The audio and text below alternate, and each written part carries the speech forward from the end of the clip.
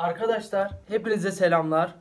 Öncelikle bir süredir yoktum. O olmadığım süre zarfında bana gerek destek olan gerekse yorumlarda güzel yorumlar atan herkese çok teşekkür ederim. Arkadaşlar bugünkü videom açıkçası size yararım dokunabileceği bir video bana göre. İnşallah da yararım dokunur arkadaşlar. Öncelikle arkadaşlar bu videoda size ben dün bir film izlerken hatta filmin ismini de söyleyeyim yanlış hatırlamıyorsam Equalizer'dı filmin ismi de. Aksiyon filmi arkadaşlar. O filmi izlerken şaşırdığım bir olayı sizlere söyleyeceğim. Arkadaşlar Equalizer adlı filmde tabi aksiyon filmi olduğu için yani yaralanma falan filan olabiliyor. Ve oldu arkadaşlar adam yaralanınca da evine gitti. Evinde kendine balık kaynatıp bal sürdü.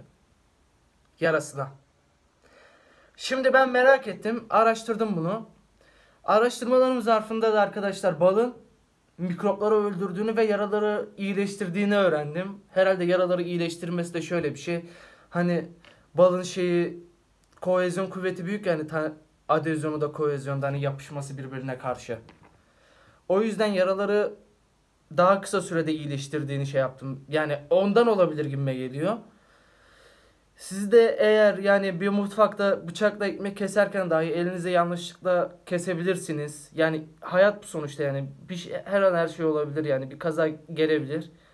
Size bir yararım dokunur diye çektim arkadaşlar bu videoyu. Umarım yararlı olmuştur arkadaşlar.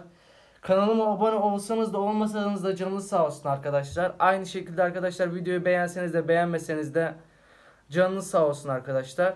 Herkese iyi günler arkadaşlar.